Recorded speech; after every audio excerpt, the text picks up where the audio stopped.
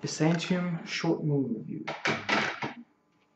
Eleanor and Clara are a mother-daughter vampire family and they move from place to place to avoid being found by a male brotherhood of vampires who consider female vampires to be lesser and the fact that the mother works in rather works in slash runs a brothel depending on where they what city and what town they're hiding out in.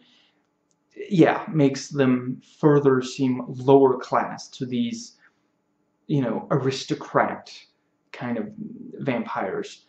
And there's a real the the movie kind of points out why why do you turn why why as a vampire do you turn someone else? Is it as a sort of upper class privilege like taking in a protege you know finding someone that they that you deem worthy of a richer existence a better life as it were? Or is it as an emotional connection from love. And the the movie is slow paced and the backstory is told gradually in flashbacks that are out of order. And it's it's very much a character study rather than a story. There's there's not a lot going on and there's certainly very little consequence to what happens. And you know, if this was in chronological order, it would be less interesting.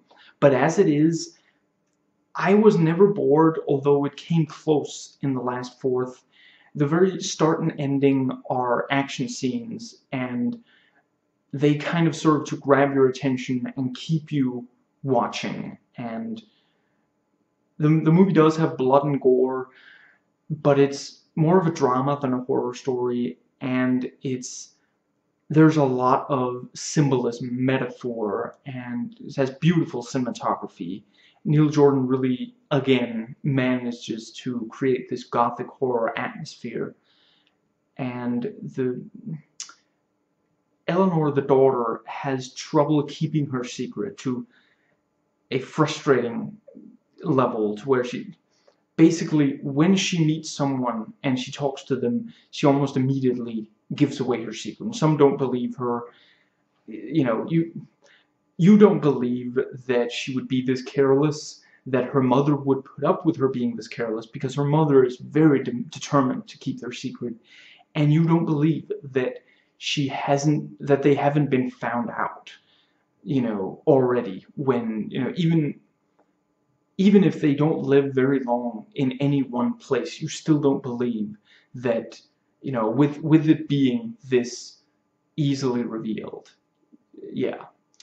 And the the acting is phenomenal and very restrained because they are these vampires and they kind of have to hide who they are and play along maybe Clara was forced into sex work and then she kind of takes charge she is a she uses the fact that she is sexualized to kind of yeah to in part to be a vigilante to take out abusive men. And in part to just get by she usually does you know engages in sex work in order to keep the two of them you know being yeah being able to survive basically if you like this review and want a more detailed one, the link is in the description box. Please comment, thumbs up, and subscribe for more content.